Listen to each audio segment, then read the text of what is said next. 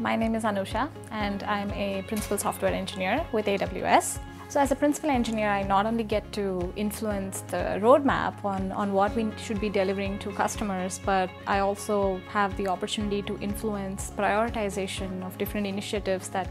uh, the teams are doing. So my current organization, we offer a suite of AWS products that customers can use to do data streaming and messaging.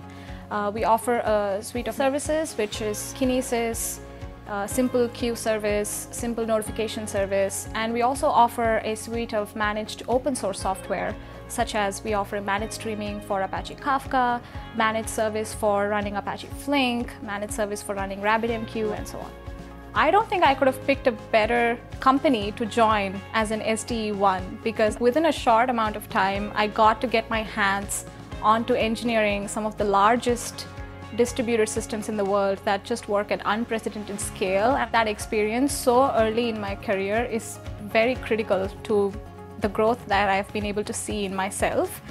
I think one of the cool parts about what I do at Amazon is that one day I could be spending time diving deep into code or writing code, and the next day I could be in, in meetings with customers listening to what they want, and the next day I could be in meetings where we are thinking about what we should be doing five years down the lane. So being challenged every day, being able to create positive impact, and being challenged through that process is something that I constantly look for as part of my career growth you get to create a lot of positive impact in literally every part of the world.